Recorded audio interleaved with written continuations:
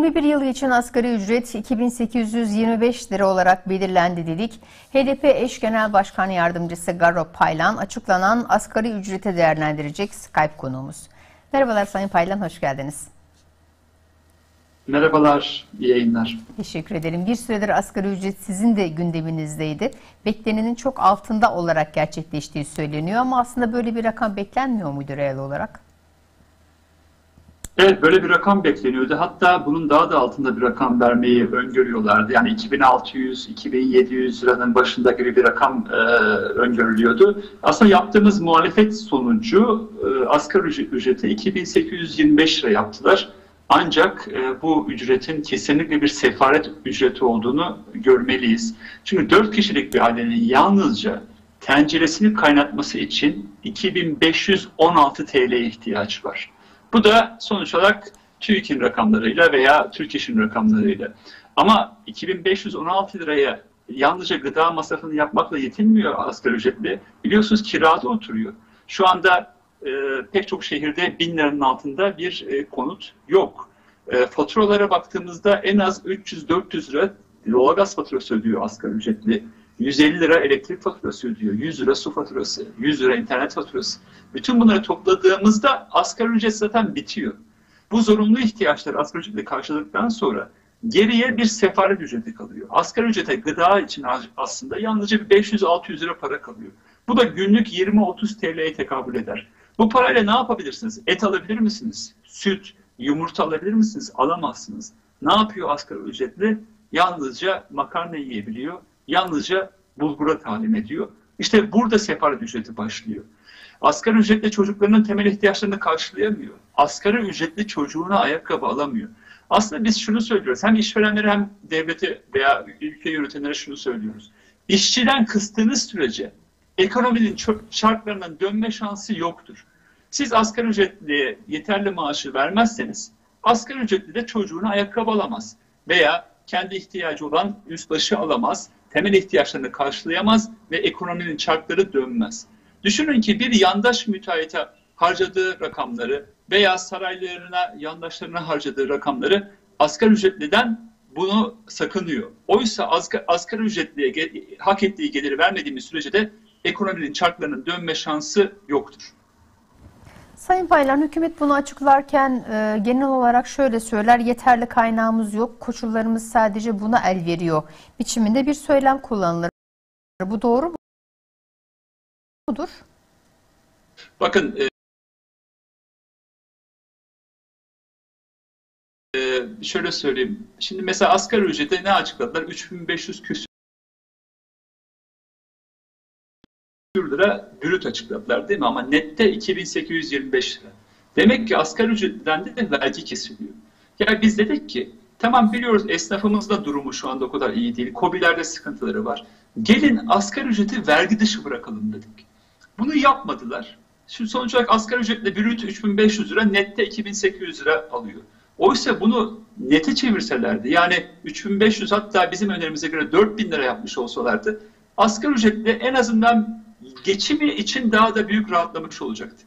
Ama baktığımızda bir yandaş müteahhite tek bir kalemde 9,5 milyar TL'lik vergi indirimini yapabiliyorlar. Ama asgari ücretli, ücretliden vergi alıyorlar. İşte vicdansızlık burada, işte adalet dışı davranma bu noktalarda görüyoruz. Yandaşlara baktığımızda vergi afları var, vergi istisnaları var. AKP'nin şu anda zenginleştirdiği yüzde bile baktığımızda vergi ödemiyor. Oysa 10 milyonlarca asgari ücretli her ay maaşından çok önemli bölümünü vergiye ödüyor. Bu çok önemli bir vicdansızlık. Bunun yanında asgari ücretli şu anda bir geçim ücretinin çok uzağında. Tayyip Erdoğan iktidara gelmeden önce şöyle eleştirilmişti o dönemki başbakanı. Asgari ücretli bir çay bir simit bile her öğünde yiyemiyor demişti. Şu anda hesabı tekrar yapalım. Çay simit hesabını yapalım. Bir asgari ücretli çay ve simidi talim etmeye kalksın yeniden her öğünde bir asgari ücretli çay ve simide dahi ulaşamıyor maalesef. Evet, e, tepkilerle de karşılandı aslında. Fakat bu tepkiler yeterli midir? Siz bir vekil olarak nasıl değerlendirirsiniz? Maalesef yeterli değil. Biz e, HDP olarak asgari ücretin vergiden muaf net 4000 TL olması için kampanya yaptık. Ama e, sokakta bu tepkileri yeterince büyüdüğünü görmüyoruz. İktidar e, biliyorsunuz Covid'i yani pandemiyi bir Allah'ın lütfu olarak gördü. Ve e, bu soygun düzeni yoksuldan alıp zengine veren düzen aynı hızla devam ediyor. Şu anda da iktidarın karşı bu sefaret ücretine karşı da ben e, emekçilerin veya işsizlerin yeterli tepkiyi vermediğini, veremediğini düşünüyorum. Çünkü bu pandemi dolayısıyla yeterli anlamda işçilerin mobilizasyonu söz konusu olmadı, tepkiler büyüyemedi ve bu anlamda bu e, sefalet düzeni işçiler açısından maalesef devam ediyor. Sayın Paylan, e, son olarak şunu sormak isterim. Genellikle yoksul insanlara ya da çalışamayan insanlara yardımlarla e, destek olunduğu söyleniyor.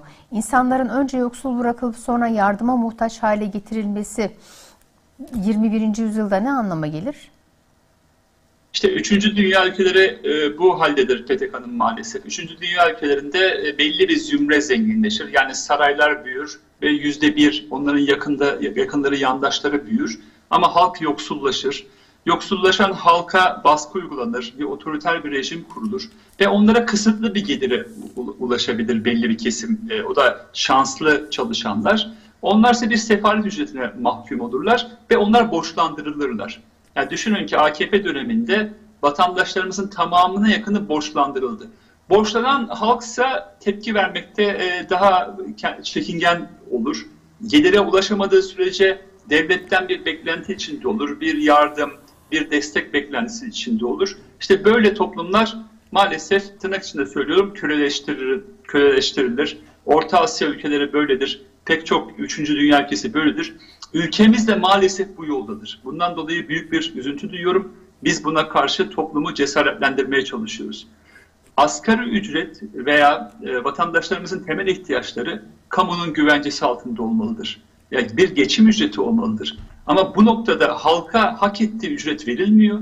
PTK'nın yani 2800 lira ücret şu anda bir geçim ücreti değil. Halk ya borçlandırılıyor ya da iktidarın vereceği 3 kuruşluk desteklere muhtaç duruma getiriliyor. Ve bu noktada da halkı bir sefalet ücreti üzerinden e, iktidara mahkum etme e, anlayışının devrede olduğunu düşünüyoruz. Buna karşı itiraz etmeliyiz. Biz hakkımız olanı istiyoruz. İşçiler, emekçiler hakları olanları istiyorlar. Hak olan da en az 4000 TL'lik bir asgari ücrettir. 4000 TL ve üzerinde gelire ulaşan işçiler temel ihtiyaçlarını karşılayabilirler ve bankalara borçlanmak zorunda kalmazlar veya iktidarın vereceği 3 kuruşluk destek için minnet etmezler iktidara ama iktidar bilerek düşük asgari ücretler verip düşük ücretler verip halkı borçlandırıp onları e, yardımlara muhtaç hale getirip bu yoksulluğu yönetmeye kalkıyor. Yoksulluk üzerinden e, işçileri, emekçileri kendine muhtaç hale getirmek istiyor. Bizim önerimiz buna muhtaç değiliz. Bu iktidardan kurtulduğumuz zaman ülkenin kaynaklarını hakça emekçilere, yoksullara, işsizlere paylaştırdığımız zaman işçiler görecek ki kimseye minnet etmek zorunda değil. Bu iktidara minnet etmek zorunda değiliz. Bunu hep beraber göstereceğiz. Sayın Goropaylan çok teşekkür ederiz yayınımıza katıldığınız için. İyi çalışmalar. Ben teşekkür ederim. İyi yayınlar.